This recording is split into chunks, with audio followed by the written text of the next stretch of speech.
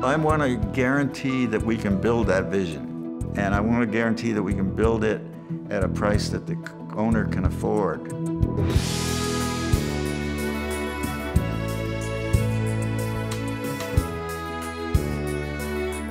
The first project of significance was Bilbao. And we took the, uh, our team to Bilbao.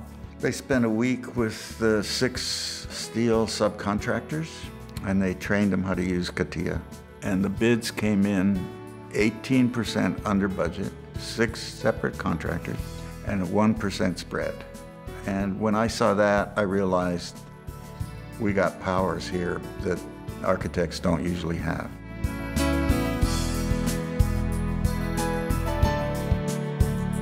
The latest thing is the curtain wall for Beekman. 76-story tower, a rental building, Manhattan. The facade looks like wrinkled cloth. It's made of stainless steel. There are no two pieces the same. It's based on trying to get bay windows. So when you're in a tall building in Manhattan, you go against the window and it's flat. And if you can walk into a bay window, all of a sudden you're in outer space. It's a whole different experience. And with CATIA, they were able to corral that into a reasonable cost. And when the day it was bid, the final bids were 200 bucks a square foot. That same week, a flat curtain wall in Manhattan was 200 bucks a square foot.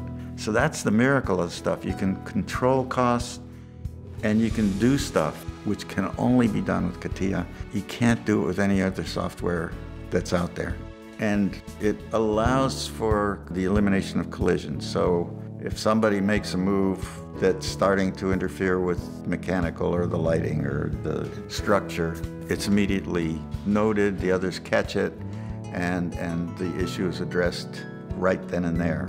The savings are clearly there, and it can lead to architects being more in control, taking more responsibility, and delivering better buildings.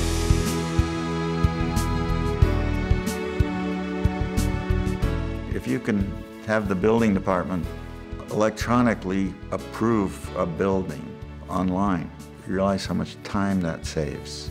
A 76-story building would be a pile of plans this high.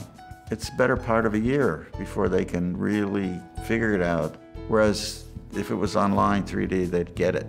The CATIA program could just take that, take off with that. And and the clarity and the amount of detail that we could put in it would be enormous and very powerful. Once you get into it, you can do project management, you can do a lot of the organization of delivery of materials and the purchasing of materials. The construction industry will inevitably have to get into it. Dassault builds the 777 aircraft with no paper. That's where we're going. But I think it's a revolution I'm 81 and I've committed a good hunk of my life to change the industry in a way that architecture can do what it is supposed to do, which is to design buildings within budgets on time and schedules and to maintain those in the real world.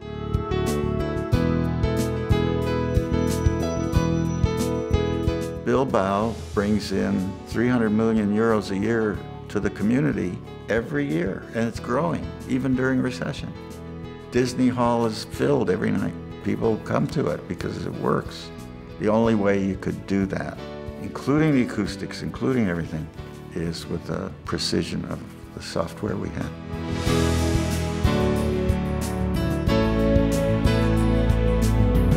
The construction industry is so many people, so many hands involved. And to get a building that looks like Bilbao or Disney Hall, that has the feeling that I wanted, I don't know any other way to do it. You wouldn't be able to do it. There's no other software out there, no other engineering tools that I know of that could uh, achieve what we've achieved with Dassault.